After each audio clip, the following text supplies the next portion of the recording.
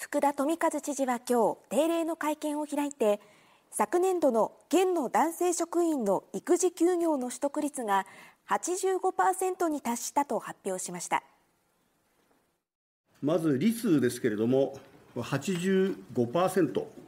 全長的に育休取得は当たり前となる機運醸成につながってきたことが大きな要因であると考えております。県によりますと昨年度の県の男性職員の育児休業の取得率は前の年度の40.6%から大きく伸びたほか取得期間も1ヶ月以上が39.7%と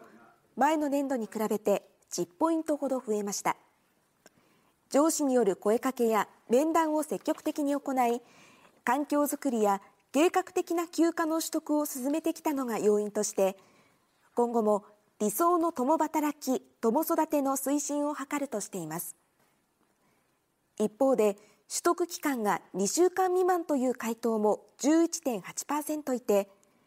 今年度目標の育児休業の取得率100%達成と合わせていかに業務をカバーしていくか課題もあります。県では現在半年以上職員が休む場合は代わりの職員を充てそれ未満の場合は業務支援員を置いています。ただし専門的知識を必要とする部署もあり必ずしもスムーズに必要な人材が見つからない場合もあるということで引き続き支援環境を整え子育ての応援につなげていく考えです。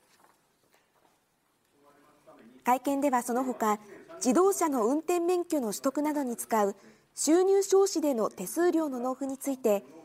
利便性の向上や事務の効率化のためキャッシュレス決済に段階的に移行することが発表されました。